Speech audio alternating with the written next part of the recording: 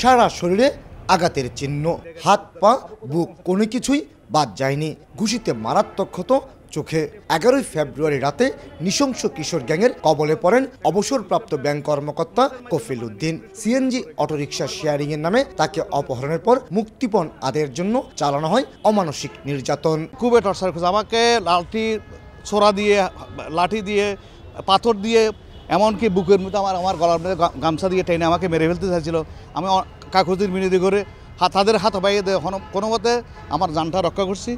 Bank কর্মকর্তা পরিচয় নিশ্চিত হওয়ার পর তিরিশ লাখ টাকা মুক্তিপণ দাবি করেছিল এই কিশোর গ্যাংটি। পরবর্তীতে ব্যাংক কর্মকর্তা কৌশলে মুক্ত হয়ে এসে থানায় অভিযোগ জানান। এরপরে শুরু হয় পুলিশের অভিযান। টানা ছত্রিশ ঘণ্টা অভিযানে গ্রেপ্তার হয় দশ জন। উদ্ধার করা হয়েছে। অপহরণ কাজে ব্যবহৃত ছোড়াসহ অন্যান্য আলামত। তবে দলনেতা সেলিম এখনও পলাতক। এরা এই ধরনের অনেকগুলো কাজ করেছে। আমাদের কাছে বিভিন্ন অভিযোগ আসছে এবং আমরা বলেছি যে সংশ্লিষ্ট থানায় যেন মামলা করে, মামলা করলে আমরা তাদেরকেও গ্রেফতার করে তাদেরকে ওই মামলাগুলোতে সোনারেস্ট করানোর ব্যবস্থা করব। আমরা বিশ্বাস করি, খুব শীঘ্রই আমরা আরেকজন যে বাকি আছে আমরা তাকেও গ্রেফতার করে আইনের আওতায় নিয়ে আসতে পারব। গ্রেপ্তার হওয়া দশ জনের মধ্যে ছয়জনই কিশোর যাদের বয়স ষোলো বছর। বাকি চারজনের বয়স আঠারো থেকে বিশ বছর। প্রাথমিক জিজ্ঞাসাবাদে তারা স্বীকার করেছে নানা কৌশলে সাধারণ যাত্রীদের অজ্ঞাতস্থানে আটকে রেখে মুক্তিপণ আদায় করত। তবে বেশিরভাগ ক্ষেত্রে অপহৃত ব্যক্তির সঙ্গে নারীদের ছবি তুলে ব্ল্যাকমেলের হুমকি দেওয়ায় কেউ থানায় অভিযোগ জানাতো না। কিন্তু এই দলের সদস্যরা গ্রেপ্তার হয়। এখন অনেকেই থানায় অভিযোগ জানাতে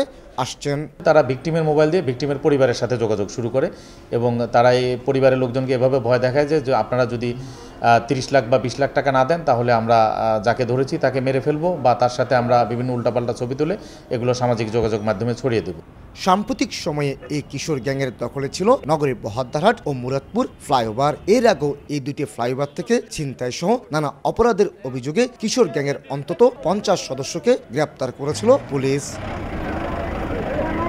কমল দে সময় সংবাদ চট্টগ্রাম।